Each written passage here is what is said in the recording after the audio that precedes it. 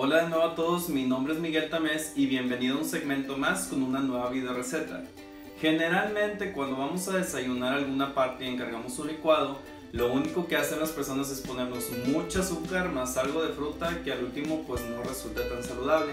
Entonces el día de hoy te voy a enseñar a hacer un licuado de plátano que está súper fácil de hacer y que puedes hacer muy seguido de esas veces que traemos mucha prisa y no sabemos realmente qué desayunar. Entonces les enseño los ingredientes de este licuado de plátano. Para nuestra video receta vamos a ocupar una taza de leche deslactosada light, la que tú prefieras.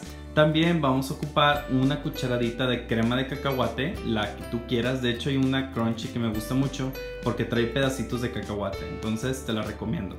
Un plátano, de preferencia si lo tienes congelado, estaría mucho mucho mejor. Una cucharadita de chía, de estas semillitas que venden ya en cualquier supermercado. Y obviamente vamos a ocupar nuestra licuadora para proceder a hacer nuestro batido. El proceso para hacer nuestro licuado no va a variar mucho de lo que tradicionalmente conocemos. Entonces lo que vamos a hacer es agregar nuestra taza de leche a la licuadora, obviamente que esté bien fría, incluso le puedes poner algunos hielitos, le da un rico sabor.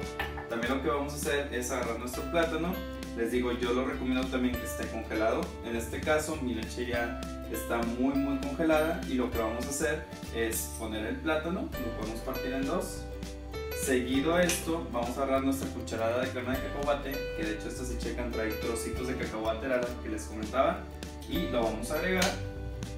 Y finalmente, pero no menos importante, vamos a agregar una cucharadita de chía. Los beneficios de la chía, entre muchas cosas, es que también ayudan a tu salud cardiovascular, es decir, a nuestro corazón, y también tiene mucha fibra. Entonces, con una cucharadita que le echemos, va a ser suficiente para nuestro licuado. Y ahora procedemos a licuar.